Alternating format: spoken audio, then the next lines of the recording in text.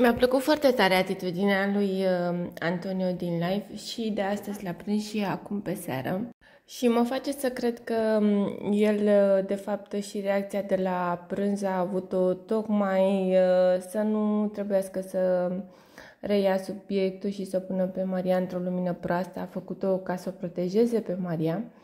Iar acum pe seară la fel, ați văzut, el a spus, eu am rezolvat-o de atunci și toată seara m-a pupat de nu mai scăpam de ea. Adică cumva el are discuțiile acestea cu Maria, iar atunci când va trebui să dea explicații în live, în emisiune din live, cumva uh, vorbește în așa fel încât uh, să o scoată pe Maria și să nu o facă nicio secundă să se simtă prost.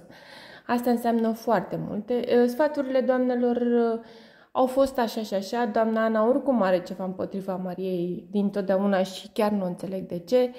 Uh, mi-a plăcut oricum uh, ceea ce au vorbit și concluziile mi-au plăcut foarte mult. Să sperăm că vom vedea um, niște schimbări în relația lor, pentru că cu siguranță vor fi schimbări uh, benefice pentru ei în primul rând. Haideți să vedem ce o să fie.